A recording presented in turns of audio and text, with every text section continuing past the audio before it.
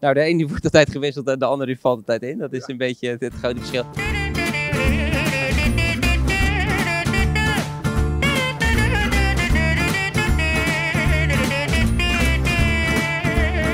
Het is nu nog een droom, maar eigenlijk willen we wel de finale gaan halen.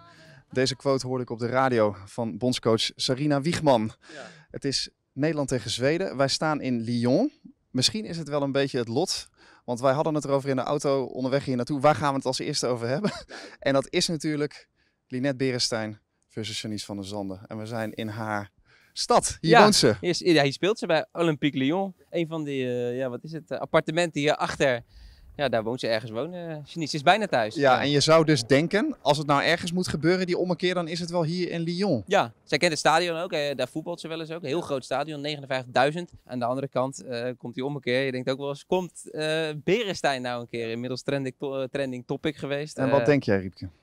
Als ik het heel eerlijk moet zeggen, ja, nee, ik, ik, heb, ik heb het gevoel, eh, ik acht de kans vrij groot. Ja, ik denk eigenlijk wel dat Linette Berenstein gaat spelen, gaat starten, laat ik het zo zeggen. Invallen, dat gaat ze sowieso doen, maar ik denk dat ze dit keer gaat starten. Ja, en waarom heb je dat gevoel? Nou, een paar, paar puntjes heb ik daarvoor. Eh, de wissel komt eh, steeds vroeger. Hè. Tegen Italië kwam Berenstein er al na vijf, of, sorry, 35 minuten voor het einde in. Na 55 minuten. Dus ja, ze kreeg al bijna net zoveel speeltijd. En eh, nou ja, goed, waarom? Omdat ze ook veel beter in vorm is. En ze durft het ook meer uit te spreken als je met haar ja, na de wedstrijd spreekt. Dan lijkt ze die kans een beetje meer op te gaan eisen. Wat is nou het grote verschil tussen Janice van der Zanden en Linette Berenstein? Als je puur even statistisch kijkt naar ja, Ja. hoe ze het doen. Nou, de ene die wordt altijd gewisseld en de andere die valt altijd in. Dat is een beetje het, het grote verschil. Nee, het, het zijn natuurlijk allebei eh, spelers die met een actie het verschil kunnen maken. En eh, nou ja, eh, Janice van der Zanden heeft het verleden, heeft een naam, was een belangrijke speler tijdens het EK, belangrijke speler in de kwalificatie. Maar als je nu gewoon puur kijkt naar de vorm,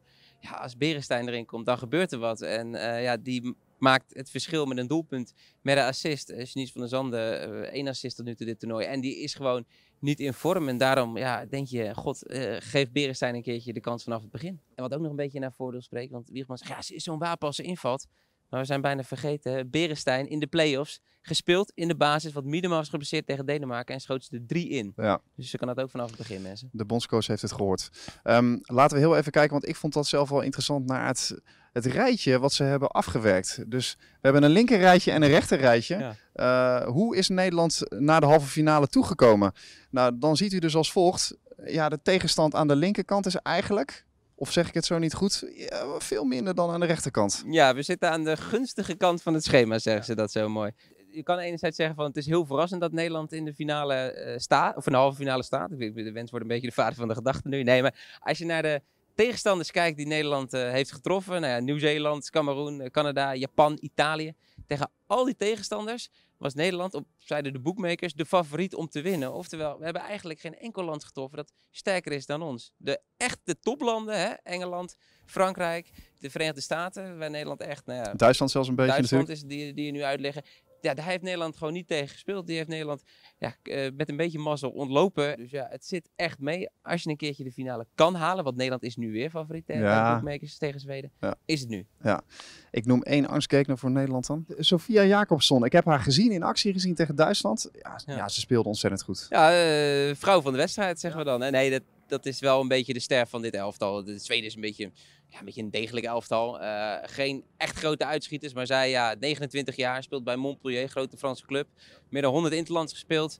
En eh ploeggenoot ook van Anouk Dekker, die waarschijnlijk, ja, waarschijnlijk, die zit bij Nederland op de bank. Die gaat ze niet tegenkomen, maar ja, dat is de absolute ster in een verre, ja, degelijk goed elftal. Maar wel een groot voetballand, hè? tenminste vrouwenvoetballand.